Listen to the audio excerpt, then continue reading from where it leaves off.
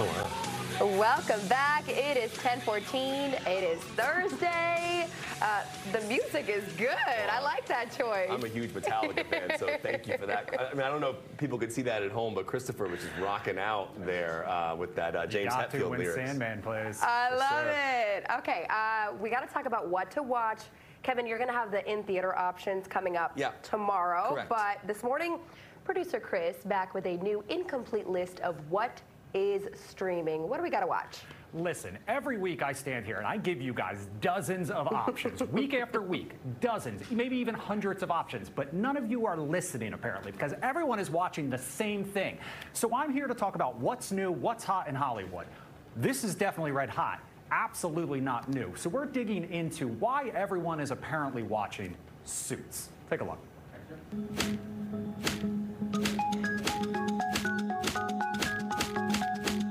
A small sample of the many, many headlines exploring the streaming phenomenon happening right now. Because instead of all those new shows that we talk about every week, TV watchers have been glued to a USA Network legal drama that premiered back in 2011.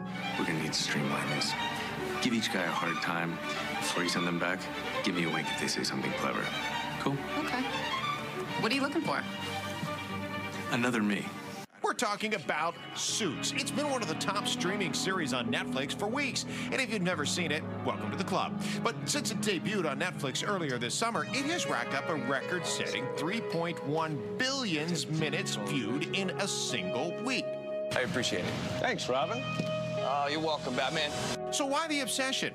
On one hand, experts blame the Netflix effect, where old shows find new life thanks to algorithms and hundreds of millions of subscribers. It happened with you, Gilmore Girls, Breaking Bad, and others. On the other hand, we have a historic summer in Hollywood happening right now. With both writers and actors on strike, there are fewer shows to choose from. And on top of all that, there were more than 100 episodes to binge. Formulaic, case of the week structures, simplistic plots, and a powerful mix of drama, comedy, romance, and mystery. But never too much of any one thing. Are you serious? From now on, it's Are You Serious, ma'am? Have you got that, pretty boy? And finally, the other X Factor, Meghan Markle. It's what made her famous, you know, before she married a prince and became public enemy number one.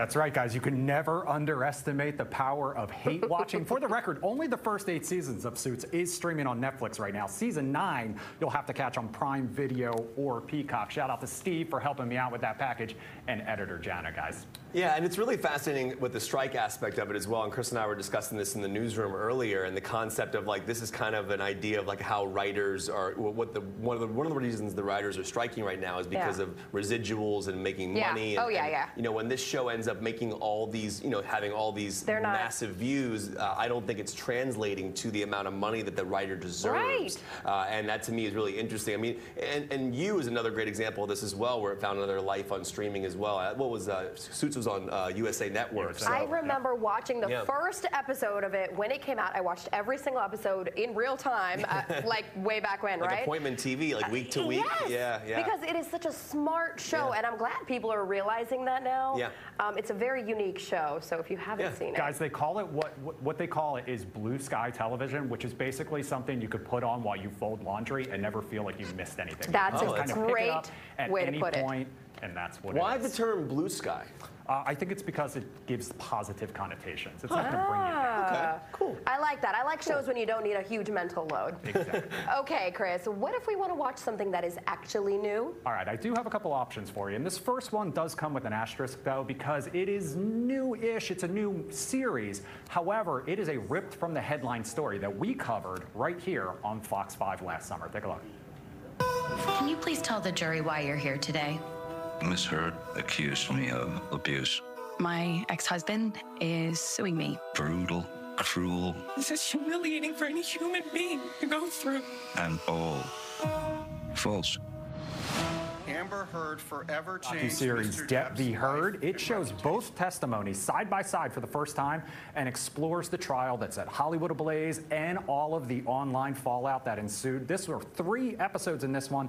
They're all streaming on Netflix now, and if you look close, you might even catch, you might even catch a glimpse of Bob Barnard in the background in that one because Ah. we covered that extensively last year, guys. I believe I saw a quote from the filmmaker who put this together about the idea that it's more about how we as a culture and a society reacted to this moment, Mhm. right? This was a huge cultural moment. And I think one of the things that you see in the trailer and one of the things you'll I think you'll see in the series is the is the reactions of people. Like there's a video in the trailer where they're watching some uh, you know one of the moments on the stand and they're just laughing. And this is about someone's life and, and someone someone going through traumatic circumstances, you know. And so uh, you know, I always had my own opinions about this whole situation. I, I, I find it weird that we are so locked into things like this and the People idea going to- exploiting this. Yeah, Uh, yeah, It's, I- it feels mean- exploitive, but but I also understand our as human beings the reason we want to watch and engage with this type of content. It's like a car wreck. Uh, yeah, Yeah, people are going to exactly. watch this. Yeah. Um, you can't look away. Yeah. You felt like we got enough last year,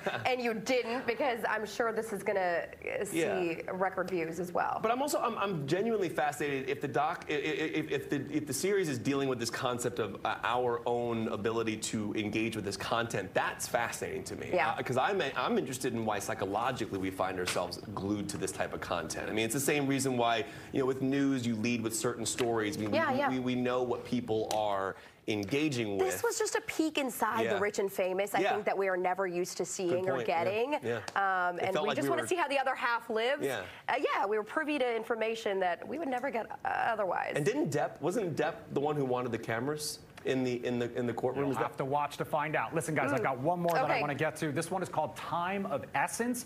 It's a five-part, one-hour docu-series celebrating the trailblazing magazine. This one features interviews with stars like Oprah Winfrey, Halle Berry, Whoopi Goldberg, Regina Hall, Taraji P. Henson, just to name a few. Chapter one focuses on the beginnings back in the 1970s. This one premieres Friday on the Oprah Winfrey Network. Now, that's a little bit of a shorter list from me this week, guys, because Kevin has a few on-demand debuts he wants to talk about now. Yeah. And I learned, I didn't realize that the that Essence was started by four men.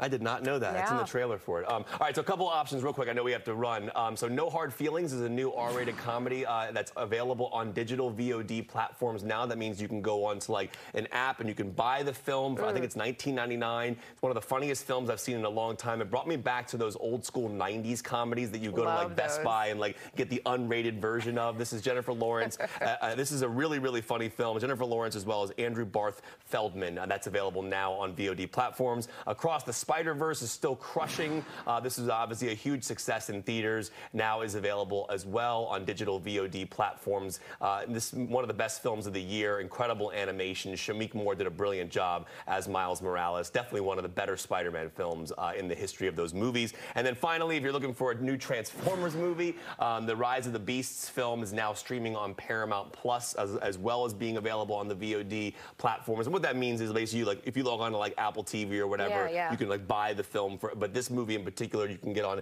Paramount Plus now streaming as well. So I loved it. It's a it's, it's a love letter to '90s music and hip hop and LL Cool J and Biggie, but also being a really great story. And I love Anthony Ramos as well. So the movie is available on Paramount Plus. a lot of good throwback feelings Yeah. out there. A Yeah. lot of good stuff Definitely. to watch. Thank you, Kev. Thank you so much. And I'm seeing Blue Beetle tonight. I'll have the review tomorrow for that, the new DC Comics Okay, film. we Yeah. can't wait. Stay tuned. Jeanette, I'll send it over to it. you. Guys, thank you.